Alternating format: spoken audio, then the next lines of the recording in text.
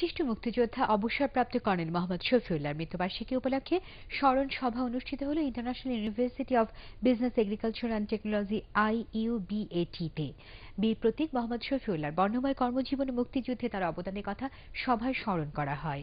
আইইউবিএটির উপাচার্য অধ্যাপক ডক্টর আলিমুল্লাহ মিয়ান সহ বিশ্ববিদ্যালয় কোষাধ্যক্ষ রেজিস্ট্রার শিক্ষক শিক্ষার্থীরা এতে অংশ নেন। লোককবি আব্দুল হাই মাশরেকির পঁচানব্বইতম জন্মবার্ষিকী আজ। এ উপলক্ষে রাজধানীর শিল্পকলা একাডেমিতে দুদিনব্যাপী অনুষ্ঠানের আয়োজন করেছে লোককবি আব্দুল হাই মাশরেকি গবেষণা কেন্দ্র।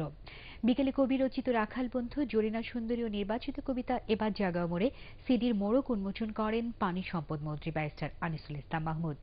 আগামীকাল শিল্পকলায় লোককবি মাশরেকি রচিত মানুষ ও লাশ নাটকটি পরিবেশন করবে নাট্যযোদ্ধা।